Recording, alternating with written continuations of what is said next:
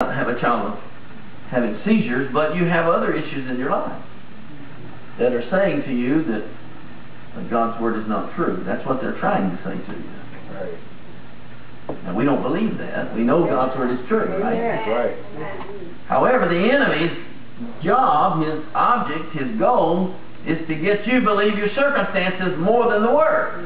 Amen. Even though you might be saying, I believe the Word. But your actions are saying, no, I really believe what's happening to me.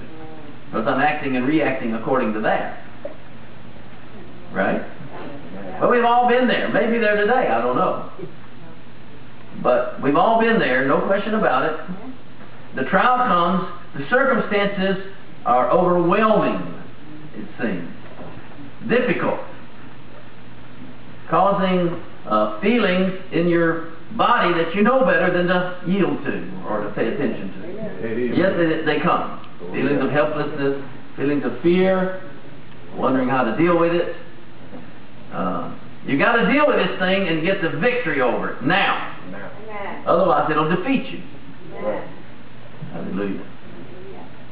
But I got good news. You're undefeatable. Praise the Lord. You might get temporarily knocked down, but you'll get back up. Get back up. That's right. Praise the Lord. You know, the one in the boxing match, he gets knocked down and stays down, that's the loser. Right? The one standing is the winner. Well, you're the standing one. The devil's been knocked down already. Hallelujah. He's down for the count. Glory to God. Hallelujah. So you, you, you, you, not only did he see that this was happening and causing obvious uh, emotional issues, the death, but then he brought him to the disciples. And they couldn't do anything either. Now, I don't know, but I, I would imagine that there'd be several people that would have already give up by now. You know, I'm just doomed to live with this. Because he sees it happening, he's helpless to do anything in his own ability. Brings them to the disciples of Jesus, they couldn't do anything. And so, many people would just figure, well, it's, too bad, sorry. I'll have to live with it. And then the reasoning comes in, you know, reason it away. Well, we'll just have to keep him away from fire and keep him away from water. You know, reasoning sets in on how to deal with it, how to accustom, how to acclimate yourself toward it, even though it's not supposed to be there, but it's there. Understand what I'm saying? Well, we don't acclimate ourselves to problems. We get rid of problems. Amen. Say to the mountain, be removed. I mean, that's what Jesus said here, isn't it? Glory to God. In Matthew 17, 21 down here, verse 21, he says, Howbeit, when the disciples asked him, what, what's the problem here? How come we couldn't do this? This kind goeth not out but by prayer and fasting. Well, that's an interesting statement. Which kind? Which kind is he talking about? Is he talking about the devil there that's causing the convulsions? No. I don't think so. He's talking about unbelief. Unbelief. That's the root. Because verse 20 he says, because of your unbelief. Alright? So then he clarifies, in verse 21 he says, this kind, unbelief, hallelujah, goes not out but by prayer. Now, I've heard people preach all kinds of things on this, make up all kinds of teachings, how mean and bad devils are, that you got to fast and pray to get rid of them. Hallelujah. But I got news for you. The devil is defeated. That's right. Subject to us. In the name Um, so why would I need to fast and pray over somebody that's defeated?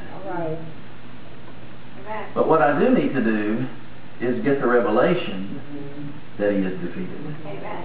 Right? I need to see that Right. With my spirit.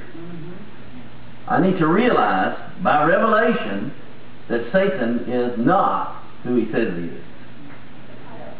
Hallelujah. Are you okay with that? Yeah. So this kind, unbelief kind, comes out by prayer and fasting. That's how you deal with it.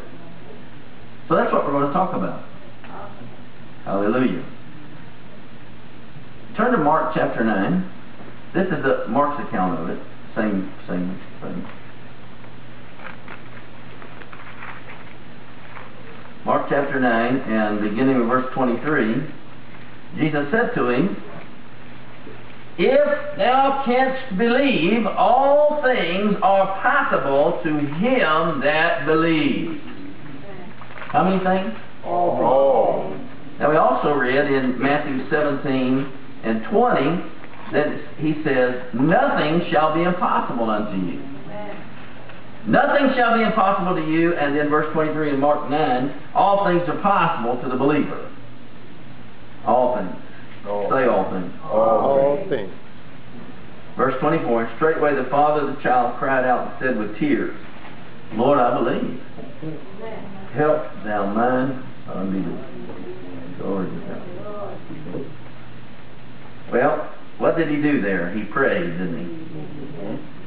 Well, Jesus said this kind comes out by prayer and fasting. Well, here Dad puts that into effect and gets victory. He said, Lord, that's prayer. I believe. Help me. Get rid of this unbelief. Now look in Luke 18. Luke 18 and verse 1. And he spake a parable unto them to this end. The purpose of the parable was this.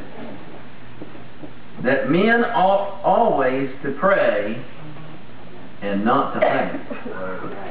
Hallelujah. Do you see that? We said unbelief goes by prayer and fasting. Now here, Luke 18, he spoke a parable, and the purpose, the point of the parable was that men ought always to pray and not faint. Mm-hmm. Now you can interpret faint several ways. Quit, give up,